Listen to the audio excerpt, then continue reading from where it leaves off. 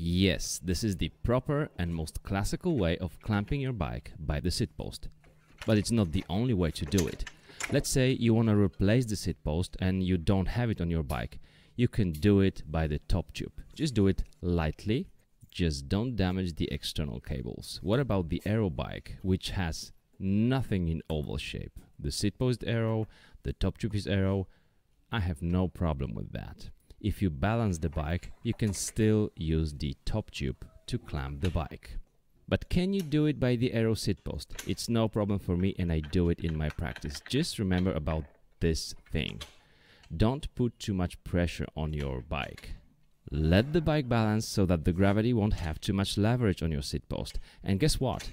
Your seat post clamp does the very same thing to the seat post. It puts pressure on it. Now I can work on some basic things on my bike.